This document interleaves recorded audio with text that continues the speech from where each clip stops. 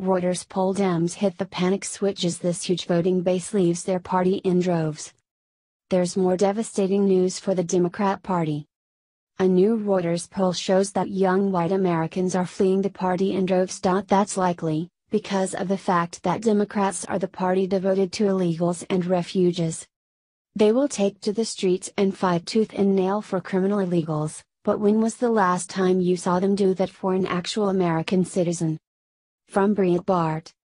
Young white Americans are fleeing the Democrat Party en masse following the election of President Donald Trump in 2016, a new poll reveals.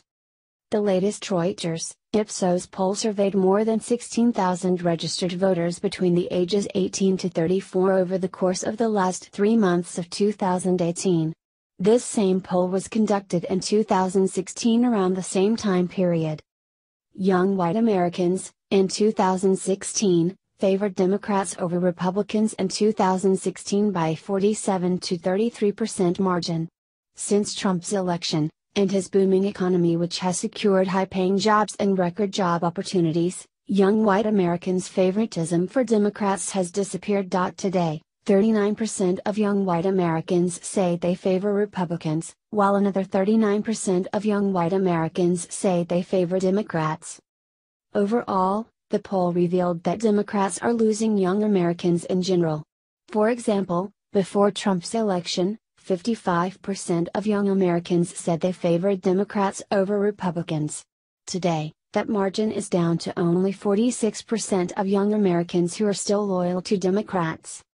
Key to Trump's election was the issue of mass illegal and legal immigration, wherein the United States admits more than 1.5 million immigrants every year. As Breitbart News reported, a majority of white Americans say immigration to the U.S. has made life in America worse.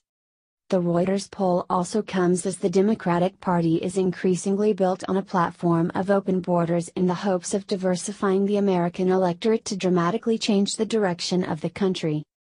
Overall, the U.S. is on track to bring in about 15 million new foreign born voters in the next 20 years, as the country continues admitting more than 1 million legal immigrants every year, as Breitbart News noted.